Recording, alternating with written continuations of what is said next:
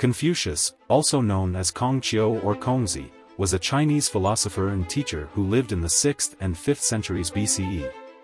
Confucius considered himself a transmitter for the values of earlier periods which he claimed had been abandoned in his time. His philosophical teachings, called Confucianism, emphasized personal and governmental morality, correctness of social relationships, justice, kindness, and sincerity. Confucius believed that the key to achieving a harmonious society was to promote ethical behavior and cultivate virtue in individuals. He emphasized the importance of education, including the study of literature, history, and music, as a means of fostering moral development.